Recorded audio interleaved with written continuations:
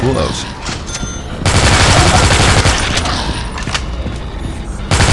Oh, that was close.